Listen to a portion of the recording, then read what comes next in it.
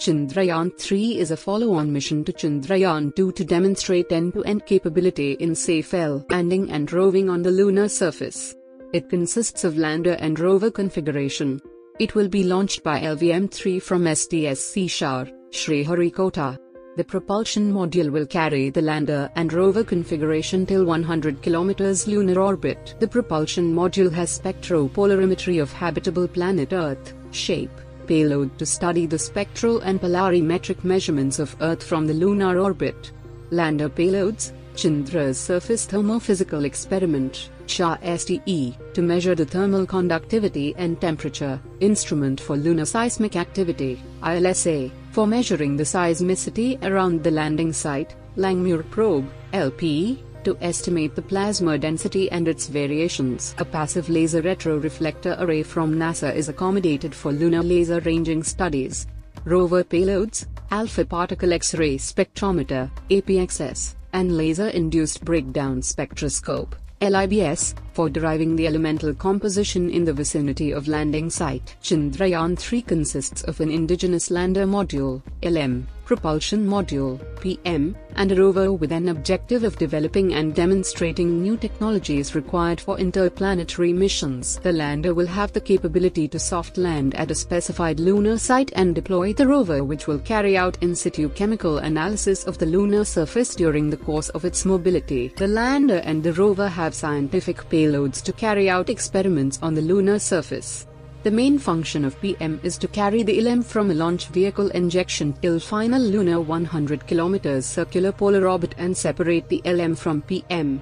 Apart from this, the propulsion module also has one scientific payload as a value addition which will be operated post-separation of lander module.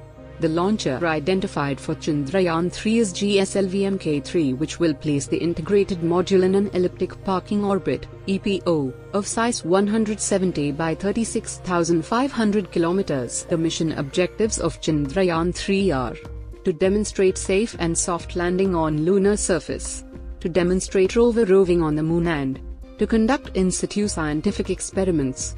To achieve the mission objectives, several advanced technologies are present in lander such as dot altimeters, laser RF-based altimeters, velocimeters, laser Doppler velocimeter lander horizontal velocity camera, inertial measurement, laser gyro-based inertial referencing and accelerometer package, propulsion system, 810 throttleable liquid engines, 5810 attitude thrusters throttleable engine control electronics, navigation, guidance control, NGC, powered descent trajectory design and associate software elements.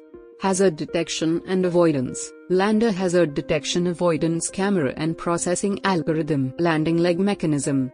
To demonstrate the above said advanced technologies in Earth condition, several lander special tests have been planned and carried out successfully viz. Integrated cold test, for the demonstration of integrated sensors navigation performance test using helicopter as test platform.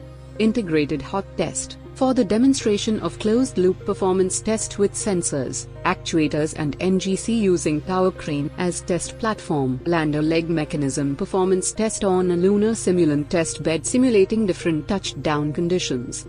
The overall specifications for Chandrayaan-3 is provided below. Provided below.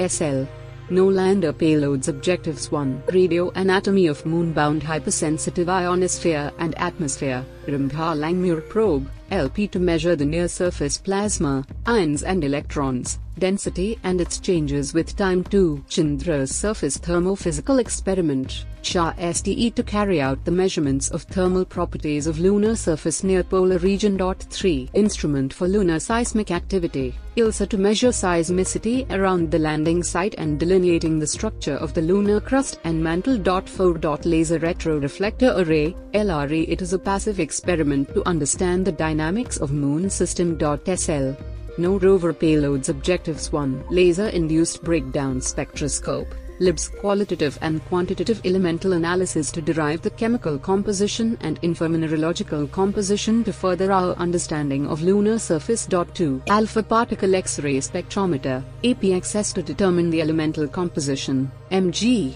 Al, C, K, Ca, T, Fe, of lunar soil and rocks around the lunar landing site.